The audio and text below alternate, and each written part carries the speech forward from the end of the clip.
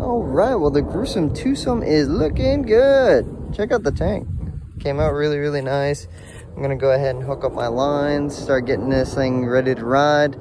But it looks a lot better than it did, I can tell you that. So, and the uh, the paint really does pop on there, the uh, the metallic. So that's gonna look good going down the road. And like I said, I'm just gonna get all my controls set up now and uh, get her rolling.